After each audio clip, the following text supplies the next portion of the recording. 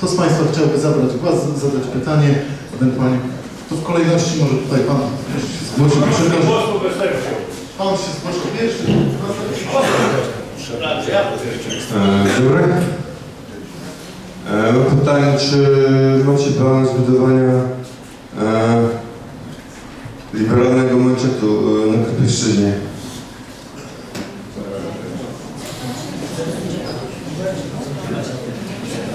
Czy macie plan zbudowania liberalnego e, meczetu na Krypieszczyźnie?